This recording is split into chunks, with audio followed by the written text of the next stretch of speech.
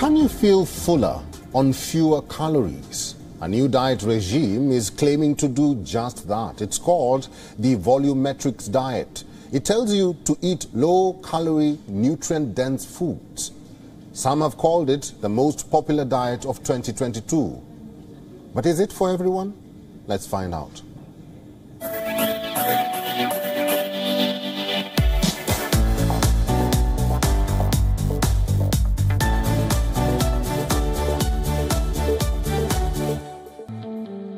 You eat less and feel fuller. Sounds like a utopian fantasy, right?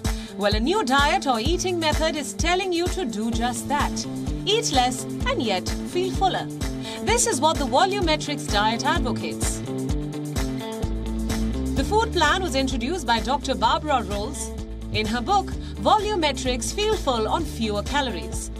In this diet, you're advised to consume around 1400 calories a day. Many would argue that that's too less. And try and exercise for at least 30 minutes daily. In this eating plan, food is divided into four groups on the basis of calorie density. Category 1 would have low density foods like non starchy fruit and vegetables. Category 2 would have starchy fruit and veggies along with some grains and low fat meat. And category 3 has all those medium density food items which we love and crave. Cheese, pizza, french fries, ice cream, cake, you get the gist. And category 4 would comprise high density options like chips, chocolate, candy and more. Basically all those items which are perceived as forbidden foods or cheat meals.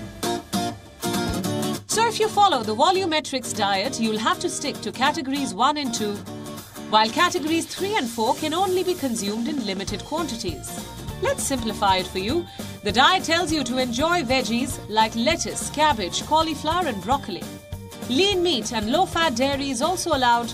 And fruits like watermelon, berries, oranges and lemons are great for snacking. They are high in water content so they'll keep you fuller longer and are also high in nutrients such as iron, calcium and zinc. But if you want to save on the extra calories, you're advised to avoid nuts and seeds, oils, and highly processed foods or consume them in moderation. Simply put, the diet aids weight loss by putting you in a calorie deficit where you consume lesser calories than you burn. So, is the volumetrics diet for everyone? Not really. Like most diets, it has its pros and cons. While it does not eliminate food groups altogether like Atkins or keto, it may restrict you from eating certain foods, which could then lead to eating disorders. This is what experts say. Since there is no structured approach to eating, the diet may not impress those who are creatures of habit and like to plan their meals in advance. The volumetrics diet on one hand promotes eating nutrient-rich foods and on the other limits nutrient-rich fats. So if you're planning to try out this diet, weigh the pros and cons and always consult a doctor first. Bureau Report, WION, World is One. WION is now available in your country. Download the app now and get all the news on the move.